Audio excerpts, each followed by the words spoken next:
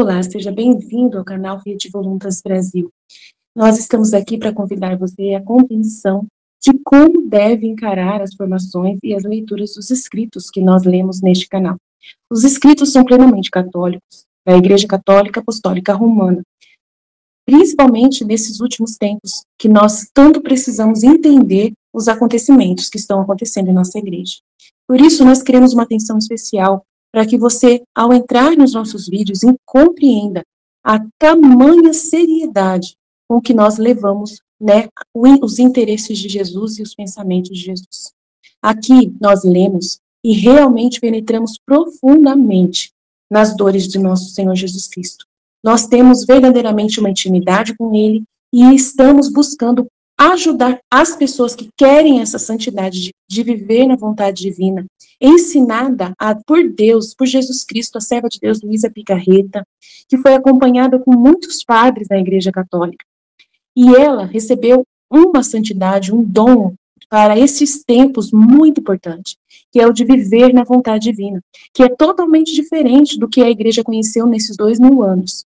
Não é seguir doutrina cegamente, regras cegamente, mas sim conhecer plenamente o coração de Jesus e obedecer os interesses de Deus para o aqui e agora, numa intimidade concreta, né, vivendo uma santidade que nunca existiu, só existiu na vida de Maria e de Jesus e da Luísa. Por isso nós estamos aqui ajudando as pessoas com vídeos longos, claro, explicando até mesmo as nossas vidas na divina vontade na prática trazendo o conhecimento aplicado na nossa vida. Por isso, nós narramos acontecimentos, parábolas, circunstâncias, para que a pessoa tenha facilidade de penetrar e interessar da forma correta pelos escritos. Uma pessoa que está na vontade humana, que é a grande chave né, dessa, dessa santidade é a pessoa renunciar à sua forma de pensar humano, sem Deus, né, para si mesmo, visando somente o seu próprio né, bem pessoal.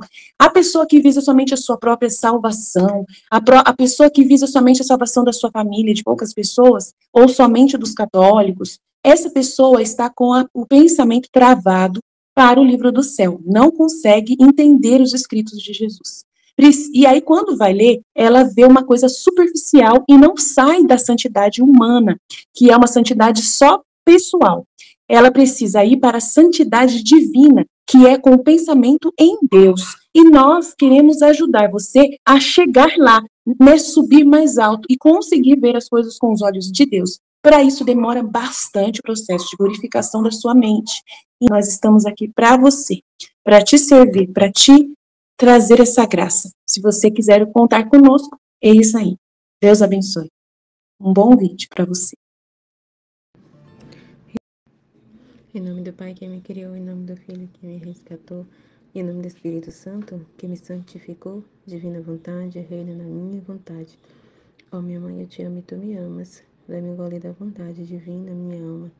Me abençoa, Mãe, para que todas as minhas ações sejam feitas diante de vossos olhos maternais. Amém. Fiat. Vinde, ó Espírito Santo, vinde por meio da poderosa intercessão do Imaculado Coração de Maria, vossa amadíssima esposa e nossa mãe. Amém. Quem fazia uma partilha do, do vídeo 1 do Viver no Reino da Divina Vontade. E aí está sendo falado, né? É aqui sobre o sacramento, né? Sobre as pessoas, né? É, a maioria das pessoas ir para a igreja e se servir, né? Ali do que Deus deixou na igreja, os sacramentos principalmente, para como um seguro de vida, né? Olha para isso como um seguro de vida, não como um meio ali de santificação, de um caminho, né? Se servir disso de para ser santo, né, para alcançar a Deus assim, naquela intenção pura por amor a Deus, né? Mas não, né? Eu vou garantir você aqui, eu sou uma cristã católica, eu vou me batizar, vou me confessar e né, né vou me servir dos sacramentos, eu vou para a igreja, eu vou na, na missa aos domingos, né? Como garantia, né? É como se ela estivesse pagando um seguro, né? Para quando ela precisar, ela acionar o seguro, Então, olha a, seriedade das coisas, né? Então, é por isso que a gente tá falando, né? Que ela é, é complicado, não? É, é, essa forma das pessoas, né? É, se servir dos sacramentos, né? De estar tá ali, de, de se batizar, de confessar, de dizer que, se é, que é cristão. É muito sério porque ela acha que isso pode garantir, não por algum defeito ou problema nos sacramentos ou na salvação, não, mas é, por causa da intenção da pessoa, né? É, aí ela vive toda essa vida assim, achando que tá garantido, né? Mas aí não sabe, porque é como Jesus sempre fala, ele não vai olhar os atos exteriores, o que ela fez, a obra em si e os atos em si que ela fez, mas a intenção, o que está dentro do coração é que ele vai ver, é o que ele vai julgar.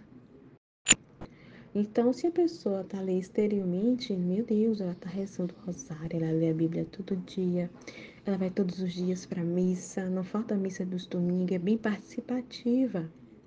Nossa, como ela é piedosa. Mas o coração, como é que tá a alma dela? Né? Fora, nossa, é santa, é piedosa, é perfeita. Nossa, como ela é virtuosa. Mas Deus não está olhando para isso, para esses atos exteriores, mas Ele vai olhar o interior da alma. E às vezes o interior da alma não está o que está sendo externado, o que ela tenta mostrar, né? Então, isso é muito sério, né? Então as pessoas assim, é, como a Aline está falando, né? Os sacramentos ali da confissão. Ah, vou me confessar, um seguro, né? Louvado seja Deus, né? Meu Deus do céu, como foi bom a redenção. Porque, meu Deus, eu posso ali me confessar, eu tenho a oportunidade de pedir perdão ali, me confessar, me banhar no sangue de Cristo ali. Nossa, que alívio, né? Que alívio, né? Se, né? Aliviar minha culpa. Não é nem porque está indo confessar que ofendeu a Deus. Não vai nem com essa consciência de que o pecado dela ofendeu a Deus, mas ela vai lá para é, se confessar para tirar aquela culpa que ela está sentindo e, e continuar garantindo esse seguro né?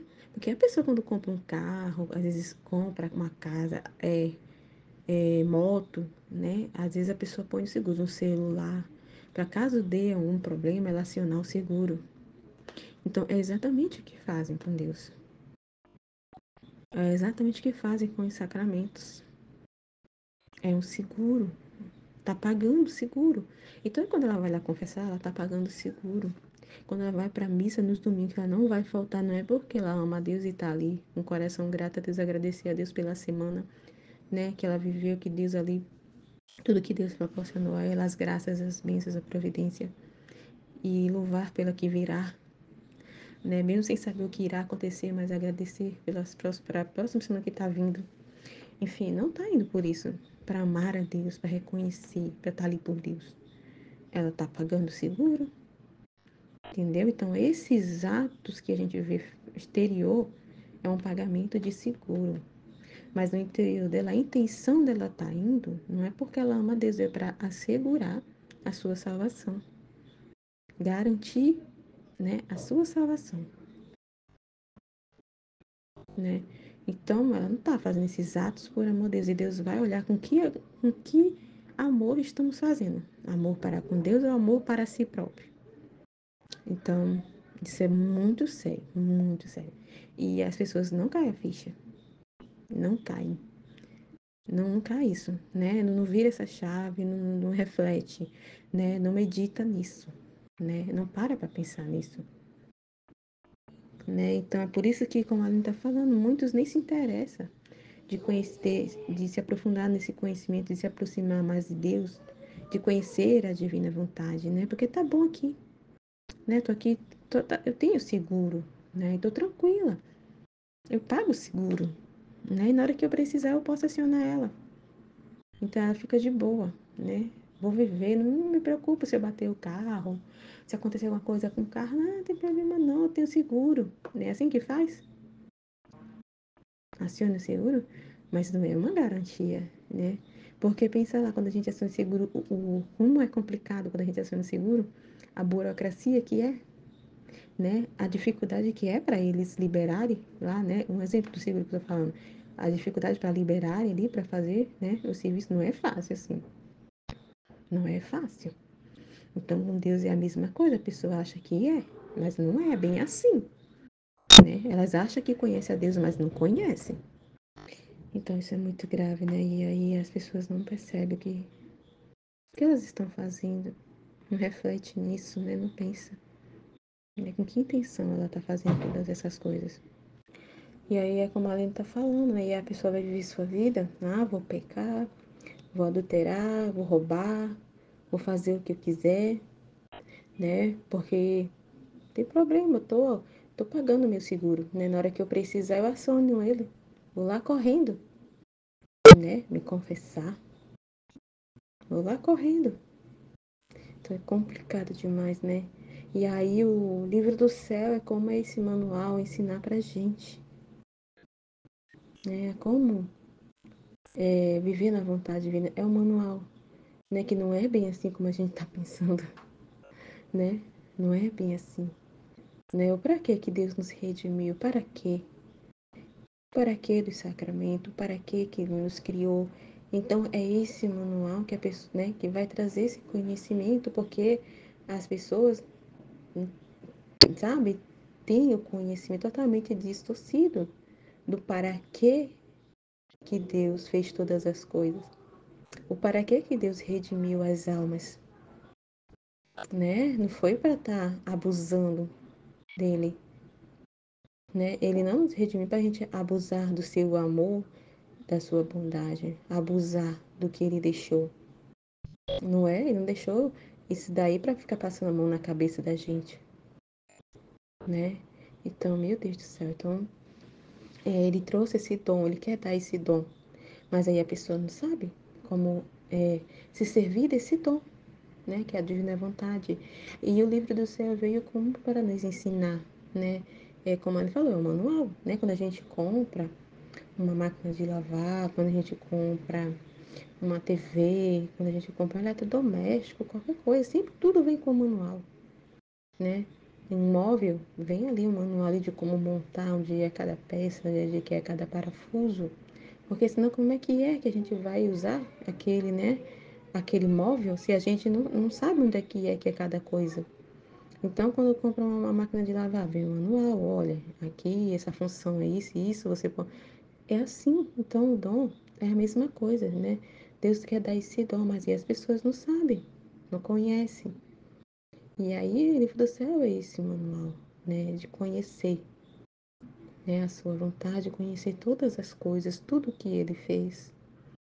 Né? Porque as pessoas não conhecem, acham que conhecem e estão aí fazendo o que estão fazendo se servindo de Deus como seguro, se servindo das coisas de Deus para se assegurar por benefício próprio, não tá, não por amor a Deus. Nossa, eu tava aqui antes de eu essa parte aqui né, do, do vídeo que tá falando sobre é, Nossa Senhora, né? Eu não tinha nem escutado ainda aqui, né, sobre o que ela tá falando, né, Nossa que é medianeira das graças. Antes de chegar nessa parte aqui, né, minha esposa chegou aqui, né, eu tive que pausar o, o vídeo, né, que ele veio aqui reclamando. Que ele perguntando para mim, nossa, você viu o que tá acontecendo com a história do padre Zezinho e, né, e PHN, não sei o que, né? Aí eu disse, não, vi, vi sim. Aí ele concordando com o padre Zezinho. Nossa, é, realmente, eu não sei, é, é é, mas eu acho que ele tem razão mesmo. Como é que é esse negócio? Não tem dizer na Bíblia que, que Maria, que Nossa Senhora, ela é medianeira da graça. Não tem dizer na Bíblia, né? Tem lá dizendo, não sei o quê. E ele concordando, sabe? E falando aqui, eu disse, eu olhar assim pra ele, eu disse, meu filho, eu tentando explicar para ele, né? E ele não, não queria me ouvir, né? Não, não.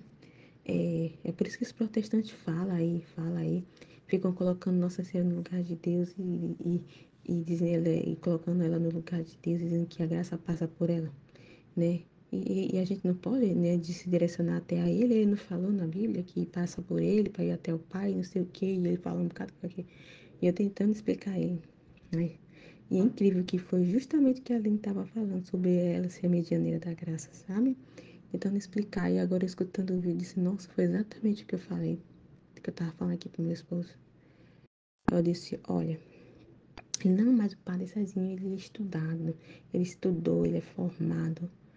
Eu disse, pois é, então não adianta eu ficar falando aqui, tentando te trazer aqui, você veio aqui com essa dúvida.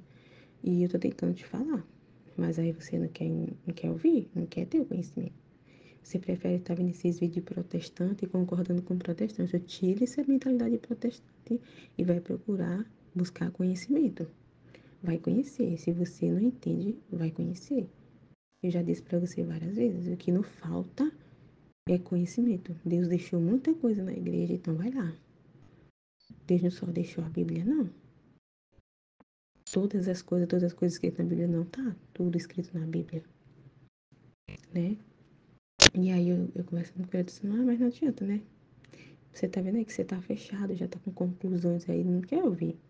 Né? Aí eu falei assim, né? Eu falei, sabe por que você não quer me ouvir? É que você acabou de falar. O padre Zezinho é teólogo, né? Ele é formado, então ele sabe o que está dizendo, né?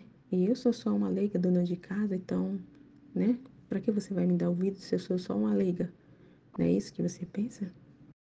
Isso não quer dizer nada. O conhecimento que ele tem, você diz que ele tem, isso não quer dizer nada. O que, que adianta ele ter esse conhecimento se ele não acredita no, nas coisas que ele mesmo né, leu? Esse conhecimento que você diz que ele tem, se ele não tem fé, ele não acredita né? Aí eu fui tentando explicar para ele, olha, ele disse, mas não tá lá na Bíblia, é por isso que os protestantes falam, né, sabe? Ele, ai, Jesus, mano, que dor escutando ele. Eu disse, meu Deus do céu, e não é a primeira vez que ou as coisas relacionadas a Nossa Senhora, ele tem essa resistência, sabe? Isso me dói tanto, ele já questiona tanto muitas coisas sobre, sobre as coisas de Nossa Senhora, sabe? As coisas relacionadas a ela. Sabe? Isso me dói tanto ver. Meu Deus do céu. Aí eu disse, não, eu tô falando assim porque eu não, não sei, eu não tenho aprofundamento disso. Eu disse, você não sabe porque você não quer, porque falta de material para você ter conhecimento não, não falta. O que mais tem é coisas, é coisas que Deus colocou, Deus deixou além da Bíblia pra gente conhecer. Tem muita coisa. Não conhece porque você não quer. Você prefere ficar com esses vídeos de protestante. Em vez de, de conhecer a, a fé católica, em vez de conhecer o que Deus deixou a verdade na igreja, mas você não quer? Eu disse, cuidado. Você tenha cuidado. E aí ele tá aqui, ai meu Deus do céu. Aí já veio aqui de novo, aqui doidinho, tá? e vendo os comentários, ah, que o povo tá xingando o padre Zezinho, isso é errado. Eu disse, realmente é errado, tem que respeitar, ele é padre, né? Mas, né, mas o que ele fez não tá certo né? E é isso que está acontecendo. Muitos padres estão tá se servindo do poder que Deus conferiu a eles ali, que deu a eles, né? Como sacerdotes ali, e eles estão se servindo dos conhecimentos, né? Que eles têm, os estudos que eles fizeram, a formação que eles têm, para deturpar, para confundir as pessoas, para arrumar confusão, para afastar as pessoas da verdade, sabe? Isso é muito doloroso. Nossa, me doeu. Nossa. Dói tanto quando meu esposo vem, sabe? E eu tento falar. Mas é como a gente já conversou aqui no grupo, né? Eles eles veem a gente como a gente assim, sabe? Ah, uma simples dona de casa que não sabe o que tá dizendo. Né? Eles olham isso pelo que como a gente conversou, incrível, né? Eles eles veem frutos ali, né? Eles olham pro pro material, ah, porque ele é padre, ele tem muitos seguidores, ele é formado, então ele que tá certo. Tipo assim, você é só uma dona de casa. Quem é você? Você só olha que é dona de casa, você não sabe o que tá dizendo, mais ou menos isso que ele falou. Mais ou menos isso, né? Não foi com essas palavras, mas é, é isso que ele estava querendo dizer para mim. Assim como ele estava dizendo pro pessoal que estava questionando, comentando que o padre estava errado, esse, que ele dizendo, quem são esse povo? Quem são esse povo de questionar, de dizer que o Pazezinho está errado? O Pazezinho é estudado, ele sabe o que está dizendo. Ó. Ai, Jesus, é muito doído, viu? E aí, quando eu vou aqui botar para escutar o, o, o, vídeo, aí já em seguida a Aline começa a falar sobre isso. Incrível. E as coisas que eu disse pro meu esposo, a Aline tá falando aqui com relação a Nossa Senhora. Eu disse, meu filho, ah, você acha que a Bíblia foi escrita como? Como é que foi que, que Moisés escreveu as primeiras, as primeiras, né? É, Bíblia, o Gênesis e o Êxodo. Como foi que ele escreveu? Você acha que ele tinha antes esse conhecimento? Ele foi, mas ele ele ele ele tinha conhecimento? Não, eu disse não. Ele foi criado como egípcio. Ele não cresceu, né, com os pais dele. Ele não tinha. Ele veio ter esse conhecimento depois, quando ele saiu do Egito. E como é que foi que ele conheceu? Como é que o povo lá tinha esses conhecimentos da, de como foi a Terra foi criada, como tudo aconteceu, é, ali de é, do dilúvio, toda a história, como é que foi?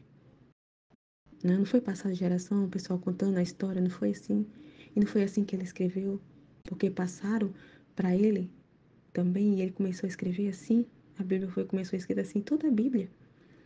Foi através do que eles viveram, do que eles viram, do que Deus falou para eles, né? E não tem dizendo no Novo Testamento, que agora não lembro se foi João que falou, que se fosse escrever todos os milagres que Jesus fez, não caberia, não dava, dava conta, não. Não dava conta de tanta coisa que Jesus fez. Não caberia, né? Poderia juntar todos os livros que existem e ainda não, não dá conta de tanta coisa. E aí, como é que você acha? Você acha que. Ai, meu Deus, né? Sabe? É doloroso demais. Mas ele não. Eu disse, meu filho, não adianta. Se você não está aberto para ouvir, né? Se você, e você olha para mim como uma simples. Ah, realmente, eu sou uma leiga, não sou ninguém, não sou nada. Mas eu busco, busco conhecer, buscar conhecer, ter conhecimento, buscar conhecimento de Deus, né?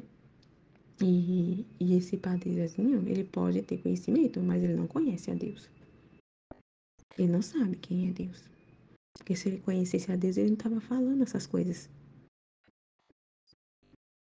Ele estava falando essas baboseiras na internet e, e, e, confundindo as pessoas, deturpando a verdade. Ele não estava falando essas coisas.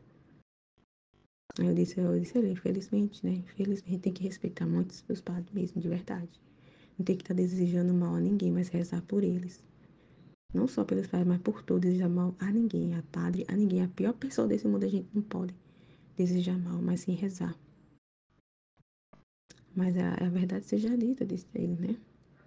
É, as coisas, muitos padres estão assim, infelizmente, muito distante da fé, né? Então, assim, se servindo do desconhecimento para afastar as pessoas, para deturpar a verdade. Infelizmente, infelizmente. Né? Mas aí ele não saiu todo. Ele tem uma certa resistência com Nossa Senhora. Muita resistência ele tem. Certas coisas ele fica meio assim, sabe?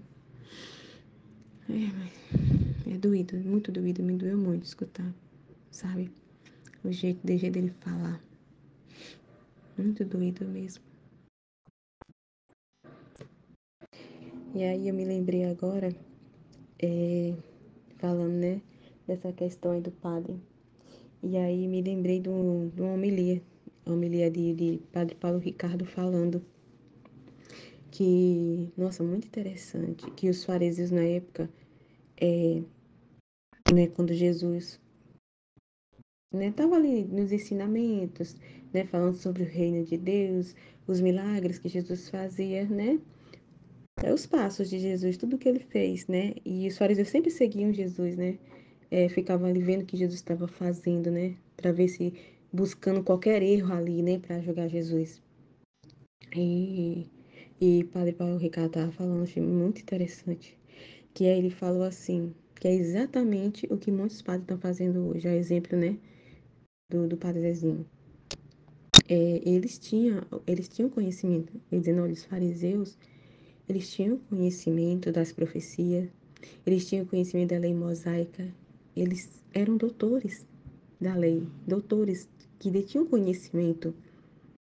E eles viam uma coisa muito interessante, que eles não estavam na ignorância, né? Eles viam as profecias se cumprindo em Jesus, eles viam as coisas acontecendo, porque eles tinham conhecimento. as coisas que Jesus fazia, eles viam, né, as profecias se cumprindo, a palavra cumprindo. Mas eles não queriam aceitar, não por ignorância, porque eles estavam vendo as coisas se cumprirem em Jesus. Muito interessante o que ele estava falando, né? O padre, que eles viam se cumprir, mas eles não aceitavam por maldade, por inveja. Simplesmente por maldade. Por dureza mesmo de coração. Porque é aquela ideia de que eu sei, eu sou estudado, eu sei a verdade, né? E olhava para Jesus os pobres, não era doutores, né? Na visão deles como eles. E eles não aceitavam porque Jesus era pobre. Filho de carpinteiro ali, veio de Nazaré. Então, mesmo eles vendo que as profecias estavam se cumprindo, que a palavra estava se cumprindo, eles sabiam a verdade, eles sabiam né, que as coisas estavam se cumprindo em Jesus, mas eles não queriam aceitar. Simplesmente não queriam aceitar a verdade. Por orgulho, por vaidade, por maldade. Para o que ela estava falando. Eu achei muito interessante, porque eu nunca tinha parado para pensar assim, né? É, nisso, né? Que eles realmente sabiam da verdade ali, sabiam o que estava acontecendo ali, se cumprindo em Jesus. Eles viam, mas eles não queriam aceitar. Por orgulho, porque Jesus era pobre, não era daquele jeito como eles achavam ali, daquele estudo que eles tinham de como viria o Messias. Por causa de racionalismo humano. Porque eles achavam que sabiam de tudo e Jesus, por ser pobre, não sabe de nada. Não aceitar porque por causa do status de Jesus. Interessante, né? Então, muito, muito semelhante o que está acontecendo nos dias de hoje, é a mesma coisa. Quantos e quantos padres aqui que se servem da, dos conhecimentos, né? Para isso, para distorcer a verdade, não aceitam a verdade. Eles sabem da verdade, têm o conhecimento, estudaram, né? Mas eles não aceitam. Não aceitam. Assim como os fariseus na época faziam, fizeram com Jesus. A verdade está estampada na cara, vendo as coisas se cumprindo, acontecer, mas eles não aceitaram porque eles não queriam mesmo. Por maldade, padre, padre, por maldade mesmo. Por indisposição mesmo, por má vontade mesmo. Porque isso tirava muita coisa deles, né? Que aquela época os fariseus têm esse negócio que muitos hoje têm, que busca mesmo reconhecimento, status, né? aquele poder, aquele reconhecimento. E quando Jesus apareceu, eles tinham esse receio, né, de perder todo aquele status deles, que eles tinham, que eles tanto, né, ali valorizavam, né, que eles se achavam os melhores. Eles eram, meu Deus, os santos, os santos o puro e melhor que, que, que, que os outros, né? Melhor é, é, diminuía os pobres, diminuía as pessoas, eles eram os melhores, e só eles sabiam da verdade. Né? Então, eles iam perder né, ali, né, é, eles tinham medo de perder o poder que eles tinham ali, né? E hoje muitos fazem isso, se serve das coisas de Deus para si próprio. E serve da palavra de Deus para fazer confusão nas pessoas para confundir, isso faz naquela época confundir as pessoas. Por interpretações próprias, por raciocínios lógicos deles, humano deles, porque eles achavam que, né, ali, que sabiam o que estavam dizendo porque eles eram estudados. Mas isso não quer dizer nada, como disse para minha esposa. Isso não quer dizer nada. Ser teólogo, ser filósofo, ser formado, estudou tanto tempo, para quê? Se não acredita, para quê? ter essas coisas não quer dizer nada, mas se não tá, é, se não buscou esses conhecimentos em Deus, no Espírito Santo, se não tem o Espírito vivo neles, de nada adianta. Só conhece, mas não vive esse conhecimento, essa verdade, não vive. Não tem amor pela verdade, não tem amor para com Deus. Né? Então, meu Deus céu, é muito sério, é muito interessante que que estava sendo falado, né? E ele falou muita coisa legal. Nossa, muito boa essa homilia do Padre Paulo. E aí ele fala, né, como a postura que a gente tem que ter. Olha a postura de Jesus, ele trouxe um exemplo, né, dessa questão que os fariseus sempre questionavam, né, que Jesus vinha, né, falava ali, é, dava o ensinamento, a verdade ali, né, sobre o reino de Deus, sobre Deus, sobre o amor de Deus, né, que trazia os ensinamentos, né, e os fariseus sempre questionavam Jesus ali. Mas é muito interessante que ele está dizendo que Jesus não batia boca com eles. A caridade que Jesus tinha, tem para conosco, né? E que a gente tem que fazer o mesmo, né? Da gente não tá batendo boca, né? Jesus falava ali, mas eles não aceitavam. Então Jesus não, não, não forçava. Ele dizendo lá, é, Jesus não ficava batendo boca. Né? Por caridade, Jesus não ficava insistindo, batendo boca. Jesus falava, mas eles, né? Jesus via a incorrespondência deles, a maldade dentro deles. Mesmo eles vendo a maldureza que eles tinham, Jesus não insistia por caridade, Jesus saía né? Jesus saía, né? Tem muitas passagens que tem falando, né? Estava ali diante dos doutores e eles deixavam os doutores saíam. Com seus discípulos, apóstolos, com as pessoas que seguiam ele, saíam, né? Deixava eles ali, não ficava batendo boca por caridade, para que eles não pecassem ainda mais. Para não ter ainda mais pecados ali, para que eles não pecassem ainda mais. Por caridade, para, né, o padre, padre Paulo estava falando, para ele não acumular ainda mais pecados, mais do que eles já estavam tendo ali, das coisas que eles estão fazendo. Então Jesus, por amor a eles, se afastava, para que eles não cometessem ainda mais pecados. Né? Então, ele, tá muita, muita coisa interessante ele estava falando. Muito bom, eu vou, eu vou até, posso até colocar né, nessa homilia, né? Porque, nossa, muito interessante. Ele falou muitas outras coisas, mas é assim, é isso que eu estou dizendo, né? É, não adianta ter conhecimento se usa os conhecimentos para confundir, para fazer confusão, né? Na cabeça das pessoas. E aí afasta, né? Quem já tem aquela. É, quem aí não tem os conhecimentos, quem está na ignorância, quem tem uma certa é, resistência na, na, nas verdades, né? Vai afastar ainda mais? Assim como exemplo que eu falei do meu esposo, ele tem uma certa resistência com relação a Nossa Senhora. E aí ele vai escutar um padre falar, um padre, então, ele é padre, ele, ele é estudado. Então, o que ele falou tá dito, ele tem, né? Ele tá certo, ele é padre. Olha só a gravidade que é. Né? E, e na cabeça dele, você não sabe o que está dizendo para mim. Na cabeça você não sabe, você não é estudada. Né? Você é uma dona de casa, você não sabe o que está dizendo. O padre é estudado. Né? Ele é formado, ele estudou. Então, olha a gravidade. Olha a seriedade disso. É que muitos e muitos estão sendo afastados da verdade, se afastando de Deus por causa de atitudes de muitos padres, bispos, os maus exemplos que está sendo dado, né? É, Deus deu esses conhecimentos para eles, esse poder para eles, para eles é, é, é, orientar, levar esses conhecimentos para as pessoas, para os fiéis, para os leigos, né? Mas o que estão fazendo é totalmente ao contrário, meu Deus do céu. Muito sério, muito doloroso ver tudo isso, né? Acontecer, mas, né? Jesus falou que tudo isso ia acontecer, né?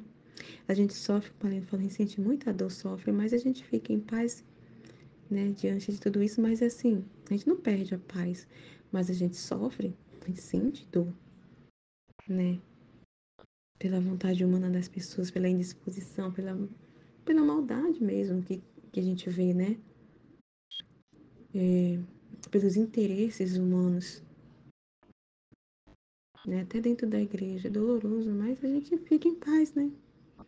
E reza para que essa, que essa luz chegue para as pessoas, né? Ai, meu Deus do céu, que elas tenham conhecimento da verdade, né? E busquem o conhecimento, como ele falou, tem que estudar. Tem que estudar, tem que buscar conhecimento. Tem que conhecer a Deus, né? E para conhecer a Deus, tem que buscar esses conhecimentos. Para conhecer o dom da divina vontade, tem que buscar o livro do céu, tem que estudar. Tem outra forma, tem que estudar.